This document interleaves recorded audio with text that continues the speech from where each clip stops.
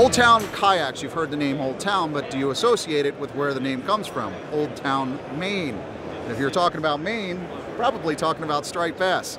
Talking to Ryan Lilly, who's from Maine, does a lot of fishing for striped bass along the Northeast, and I was talking to Ryan, I said, I, I want you to show me the Old Town line, what your favorites are, and especially what our guys might want to use for striped bass, weak fish, bluefish.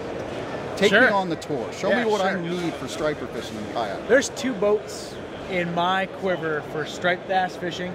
Um, they're great boats, and I thought we'd start with a pedal-driven kayak first. There we go. So th- this is right here is our Old Town Sportsman Bigwater PDL 132. It's a 13 foot, two inch pedal-driven kayak.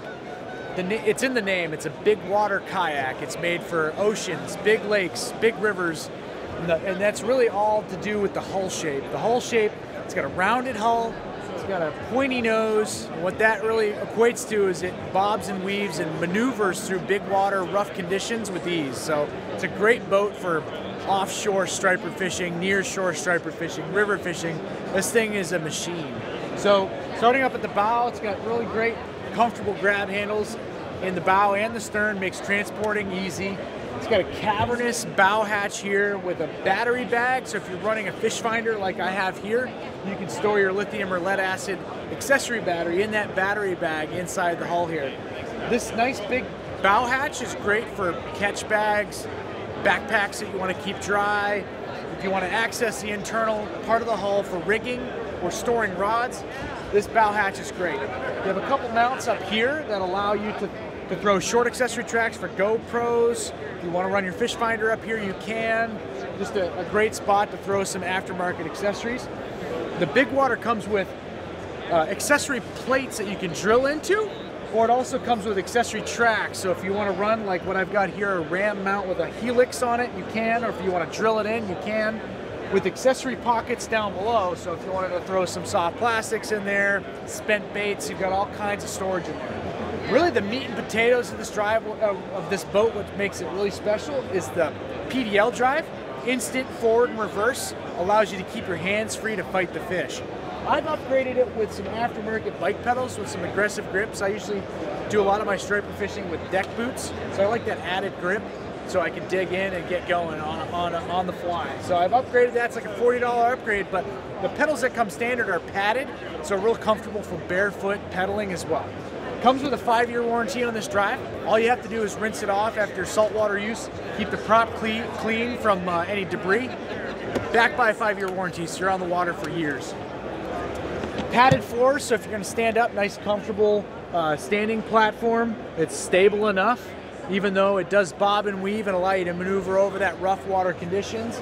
It is a super stable boat for sight casting if you want to stand up and fish. Comfortable, breathable, adjustable uh, seat, all day comfort.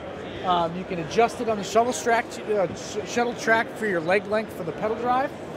You got internal storage here for you know more hull access if you need it. I like to run my accessory battery underneath my seat, so I'm able to do that here.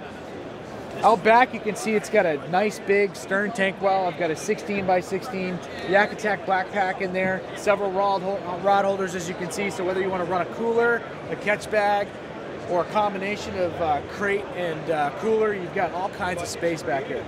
Now we've got it rigged for the show to show you what's possible for aftermarket, you know, uh, add-ons. I've got a shallow water anchor, uh, a manual shallow water anchor mounted on our shallow water anchor uh, uh, port back here. So that was like I don't know, 100 bucks. I was able to throw that on in an afternoon, and I've got a shallow water anchor for shallow water fishing. So that's just showing you what's possible. I've got horizontal rod storage uh, added to the accessory tracks on this side here. So if you're fishing up against, you know, trees or you know, I like to do a lot of river fishing or under bridges. And sometimes, you know, your rods will catch on that bridge or that tree. I like to have a few rods or my rods able to be stored in a horizontal fashion. So that's a nice addition as well. So 13 feet, 2 inches, incredible capacity, about 300 pounds max capacity on this thing. So plenty of room for person, for gear. Um, if you want to find out more about this particular model you- or any of the other models in our Old Town Sportsman line, check us out, oldtownwatercraft.com. We got a few more minutes. I'd like to show you my other boat. Yeah, because we go, we've gone in, in kayaking from paddling to pedaling, and now we've got fully Yeah. electronic. I'm about to show you the Mac Daddy. Uh, this is great. I like this for certain applications, but I like to fish my striper fishing in the mouths of a lot of these rivers that have a really strong current. You can get pretty tired pedaling even. Sure. And so I really like this motorized model that we have called the Autopilot. It's got spot lock. So let let's walk over. I'll show you. Check that Yeah. out. Minn Kota on a kayak. This is great. Tell me about this. Yeah, so like I was saying before over our, our pedal drive, this is great for some of the fishing I love to do in New England where there's a real strong ripping current going out of the mouths of the river. What's awesome about this platform is you don't have to pedal, you don't have to paddle. You have an integrated Minn Kota trolling motor that's saltwater ready with spot lock. So I post up on the on the outgoing tide, hit spot lock, and I don't have to worry about maneuvering this boat. It's just like a bay boat or you know your favorite uh, saltwater fishing craft with a Minn Kota on it. It's a virtual anchor.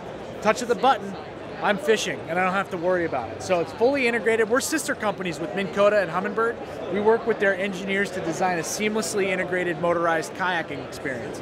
So moving back, this particular model is 13 foot 6 inches. This is the Autopilot 136 all of this deck space. So, you know, I love to take my fly rod for stripers as well. I've got all kinds of space in the hull here for strip and line for stripers. So, nice clean deck. You can walk this deck almost like the bow of a bass boat. Um, so it's a really fun platform to fish from, and you can throw you know extra coolers and, and gear in front of you and still have plenty of space for standing and fishing. I've rigged this thing how I like to fish it for stripers. I've got a 360 transducer as well as a side imaging down imaging graph, and I'll show you how I set it up. So I've got two Helix 9 screens, and then out back here, I've mounted and custom customized a transducer mount for the 360 off the stern tank well using a shallow water anchor, and I modified it and routed all the cable for the stow and deploy through the hull so I can retract or deploy that 360 transducer while I'm sitting down. So, an awesome platform. What I love about it is it's huge, it's stable. I can take all my gear with me, and it's got spot lock, so I can customize this thing for whether I'm fishing smallmouth on the Penobscot or if I'm down in Saco fishing stripers. So, awesome platform. To get started, I mean, obviously you've customized it and you can customize it. The opportunities of the uh, um, enhancements are endless, right?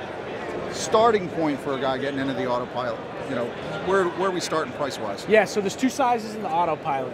One is about 4,200 bucks. The other one's 4,500 bucks, and that's just the kayak. You have to, with the motor, you have to source a battery.